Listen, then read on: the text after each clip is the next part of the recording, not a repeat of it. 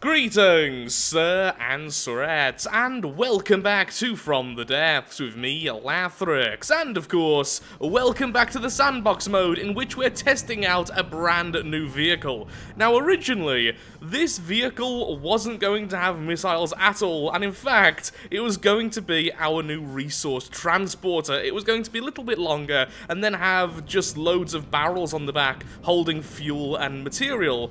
Then I realised if I put an angled missile section like this, it actually looks pretty good. Now, it's nowhere near done yet, so I will be working on this, but hopefully it shouldn't take too long, and then we can test it out in some proper battles. So far, it does pretty well. It holds enough ammo to keep on firing missiles for a long time. The missiles are very long range at the cost of a bit of damage, and I think it's going to be okay. So what I think I'm going to do is I'm going to go ahead and alter this so the missiles are actually a little bit better, perhaps a little bit bigger in fact, and I'm going to give it an AI very similar to our laser vehicle. So it's going to go away from the enemy until it is a certain distance away, and then just stay there. But unlike the laser vehicle, it will actually stay still. The laser vehicle slowly goes around in a circle to be a little bit more evasive, but instead I'm going to just have a much weaker engine and make this a lot more survivable by just adding more armor. I could add a laser munition defense, or I could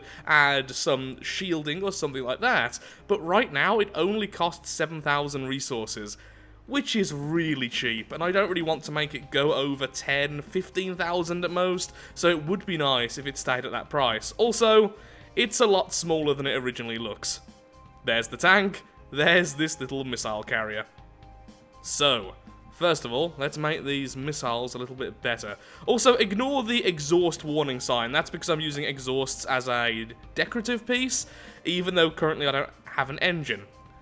But it's still giving me the warning anyway. And it looks very cool firing missiles. Yeah, they need to be a bit more powerful though. They're currently 3 warhead, 1 explosive, 2 fragments, and although they definitely get the job done, as you can see it's tore off all of that other than the heavy armor, it's just not quite enough. I would rather have a higher burst than a higher fire rate. So, be right back. Oh, well, I left it on. Okay, larger missiles this time.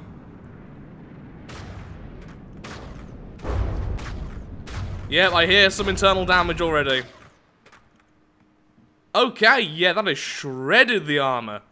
And damaged one of the... Actually, almost completely broken this weapon. That's not bad. That's not bad. Now, it will have a longer reload time. But I would rather have a stronger Alpha Strike than a faster, more reliable reload.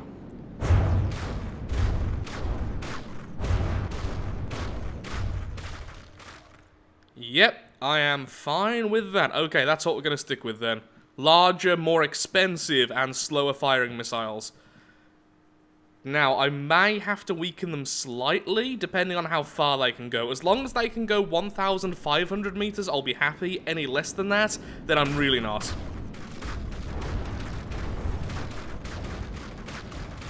Yep, that's just fine. Again, considering this is still less than 10,000 resources, that's doing just fine. Well done. Now we need to protect the missile section, which is going to cost a fortune, and try to make it look good. And then, of course, finish the back section here, which is a little bit exposed.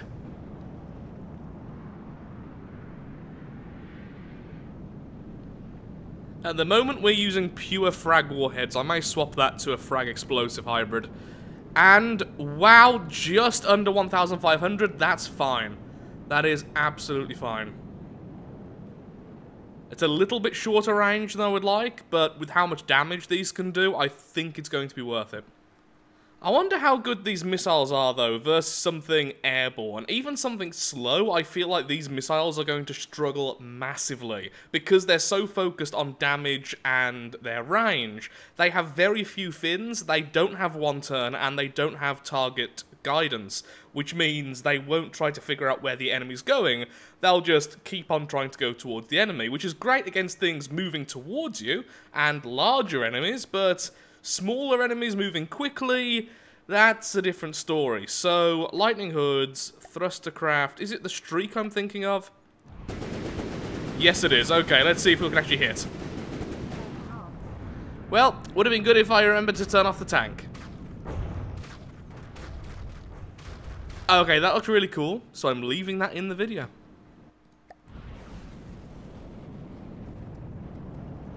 Faster, more agile, with target guidance, and yep, there we go.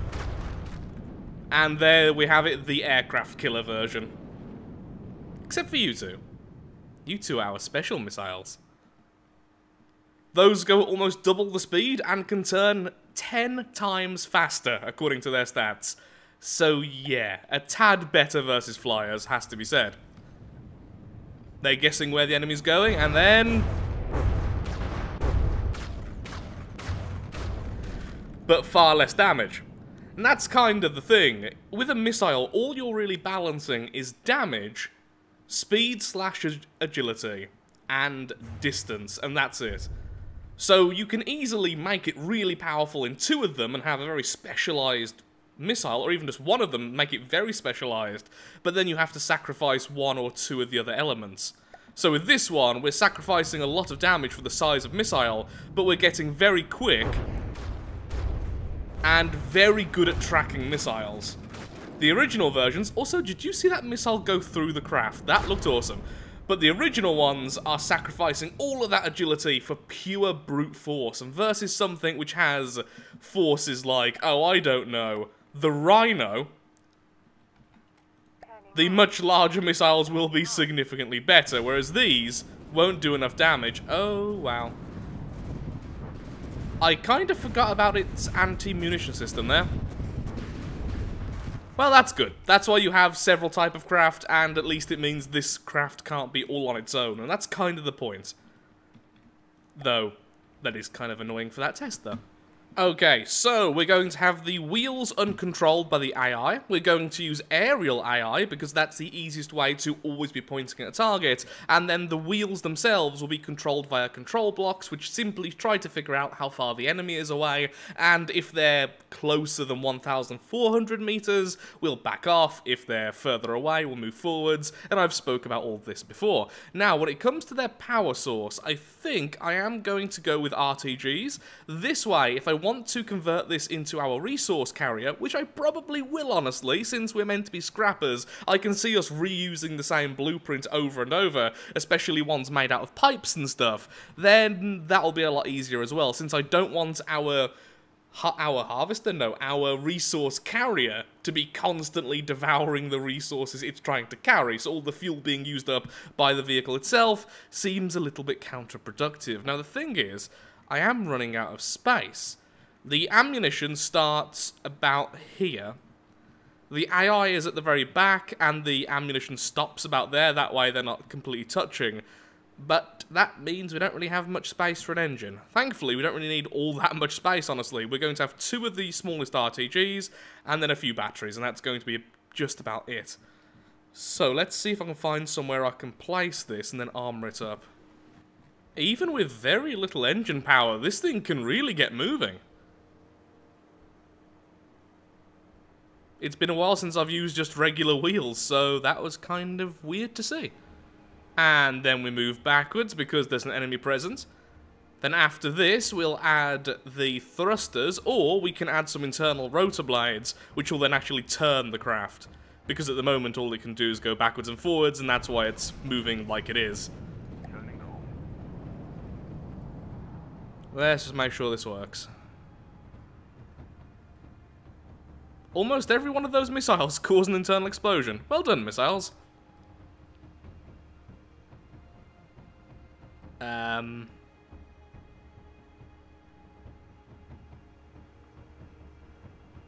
Yeah. Isn't that a bit too far? No, it's not apparently. Okay, so never mind. I just thought 1,400 meters was a bit closer than that. And then I'll just rock back and forth where it is now. Unless the enemy gets closer. I could actually just make it stop. That is something I could do, but I would rather it have some movement. And the missiles have no trouble getting to the target. Yeah, that's a good distance. Feels safe-ish from cram shots. And I am actually now really considering adding a laser munition defense to this thing. I think I may make a more expensive version in the future which will have that, but right now it's not worth all the additional engine work I would need to power those lasers. It would just make it so expensive. At the moment, we're just now over 10,000. All we really need to do is add some internal blades and some armor for the missiles, and we're done. So it's going to be just over half the cost of a tank, so we can have two of these per tank. And as you can just see, the amount of damage potential this thing has is probably the highest in our entire force. And it's missiles. Oh, I missed missiles. Let's see if some basic movement is now working. Summoning the bison, turn it off.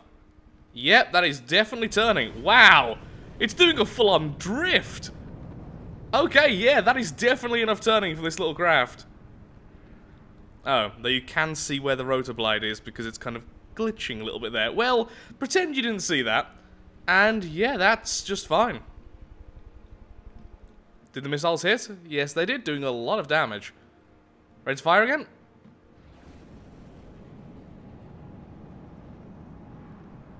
Lovely. Okay, let's summon something to the east. I kind of want to see it turn again, honestly. It seems to turn faster when moving forwards. Oh no, probably because it just didn't have to turn as much. Did that really spawn right next to my Scorpion? And wow, missiles from that section. Look how much damage that's done. It's gone straight through the heavy armor. Then the Scorpion got bored. Yep, this is why the Scorpion's better against lighter enemies. I can't even see damage being done there, friend. No. Oh, there you go. Look, you knocked something off. Go you.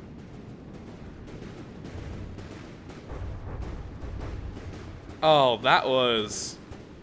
Well, that was brutal. Okay, yeah, the missiles are definitely proving themselves here. So, we're actually very, very, very close to being done now. All I want to do is double check on all of the armoured sections, do a few tweaks to how it looks, and I may add a bit more armour to the missile section. Honestly, I feel like it looks a bit too basic at the moment. I like how the main craft looks, but the weapon, less so.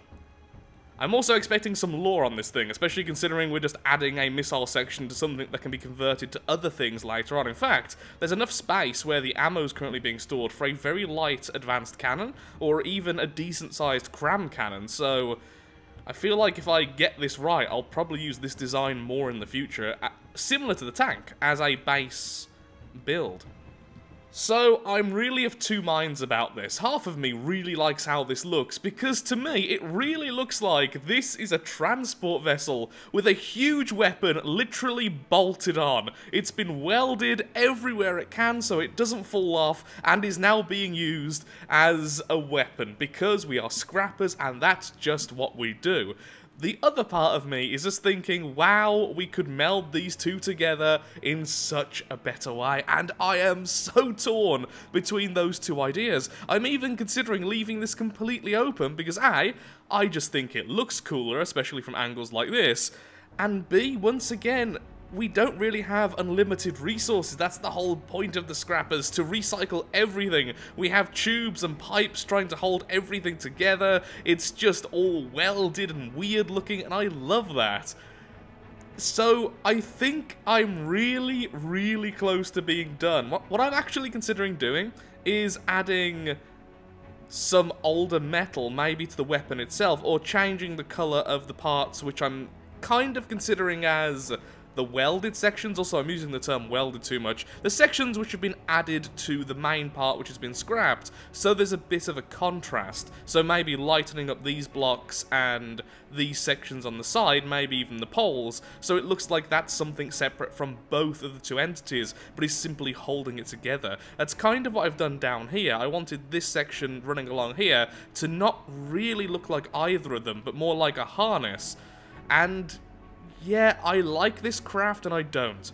I think what I need to do though is do something more to the front. I kind of had the idea originally, then scrapped the idea, of these two being separate vehicles. That's why they both have wheels on the inside as well. Because then it's like these wheels have been scrapped to the harness and then something back here. Maybe this was once a part of a tank, this was once part of a car or a dune buggy or something.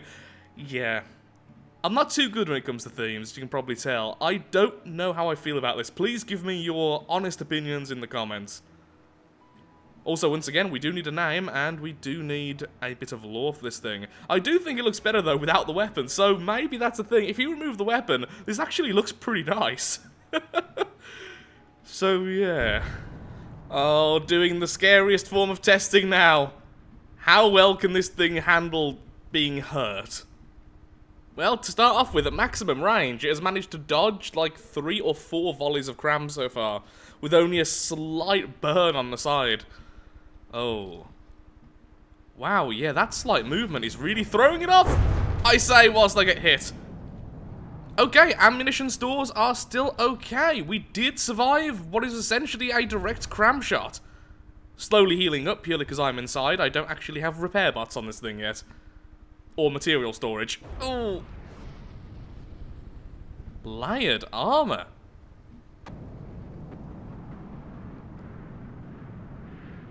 Can this thing actually beat a bison? Oh, no it can't. Okay, that was a really solid hit. What happened? Okay, hit directly in the missile launcher. Has that turned it off? I can't tell. I think it has, yeah. Oh, no, no, it hasn't. The missile launcher is still just about functioning. Never mind, it's half functioning.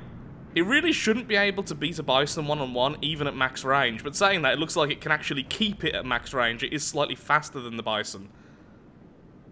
The Bison is looking shredded. How much does the Bison cost again? Because my craft now costs 12,000. How much does the Bison cost in comparison? Okay, almost 50,000.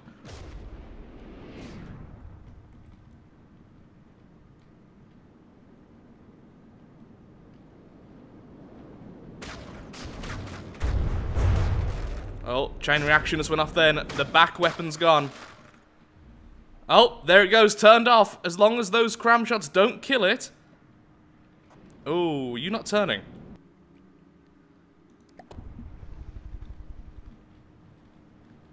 Well.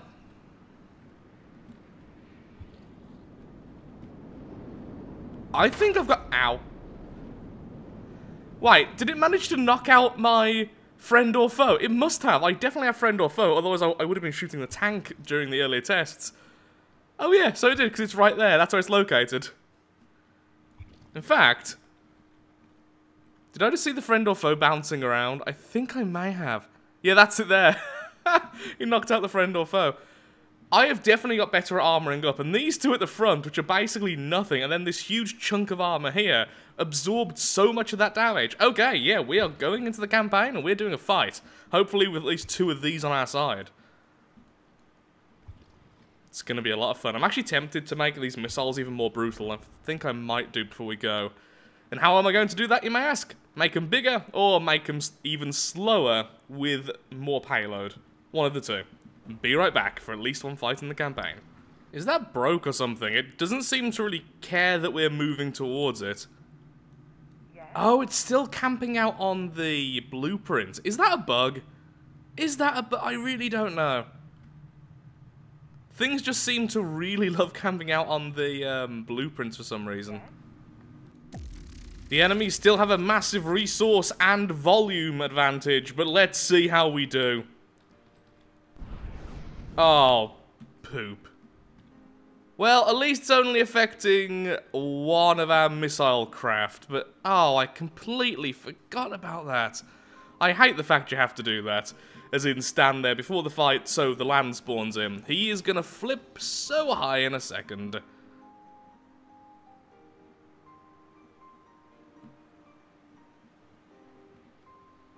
Ooh, that looks like that's going to be a bit of friendly fire. Is that the Rhino? Okay, so the Rhino's still massively online. I thought it'd taken more damage.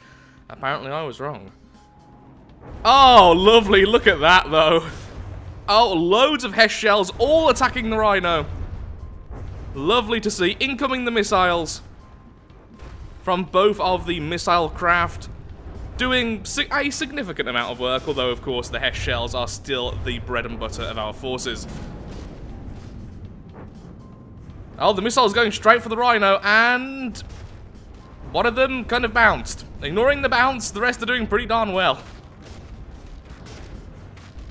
Still proving, though, that missiles are not the powerhouse they used to be. Oh, that is the Scorpion getting just destroyed on the front section there.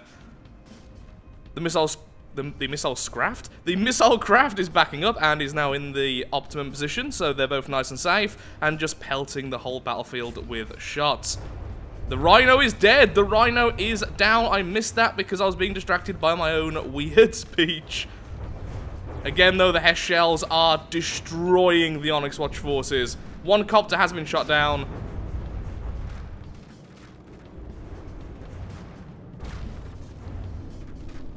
Missiles there just out of range. The reason is the missiles are being fired at something closer, and then they went after something further away. I think I may need to put them a little bit closer to the battle then to prevent this, because the problem is, the weapon system isn't necessarily going after the closest target. In fact, the missiles you can't even control that way if they're using the radio heads, which mine do.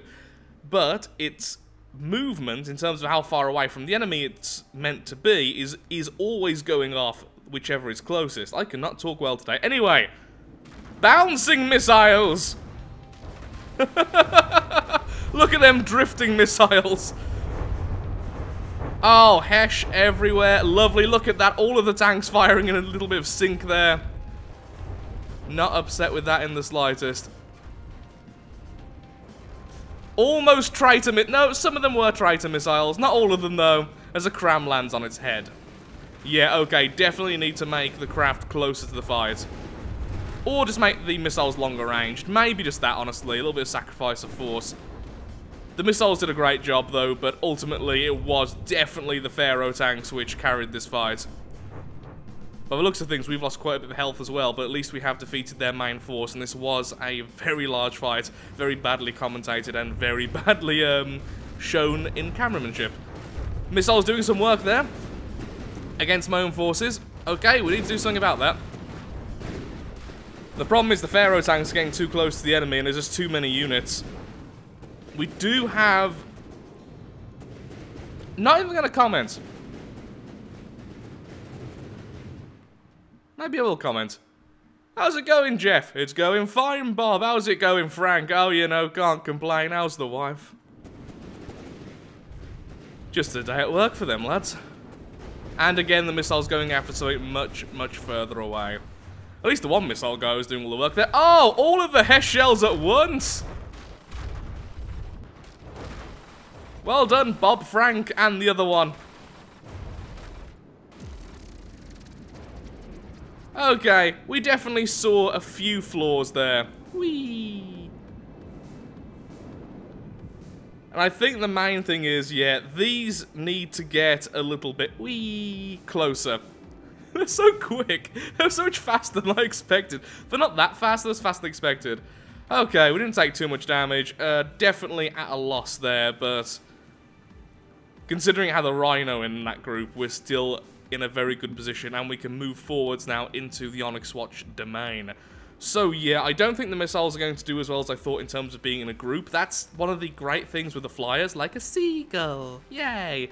The flyers fire missiles from the top, therefore there is there is absolutely no chance of them hitting the allies underneath. Now what I could do is swap out the thrusters for the short range thrusters, which you can easily put on either delay without using Lua, which means you fire them in the air, it takes a few seconds to activate, then they go towards the target, so they're essentially being fired from an altitude. The problem with this is that the short-range thrusters are not as good as the variable thrusters, which are much easier to alter, so Another way of fixing this, of course, is just make sure to have the missiles in one section of the map and then tanks in the other.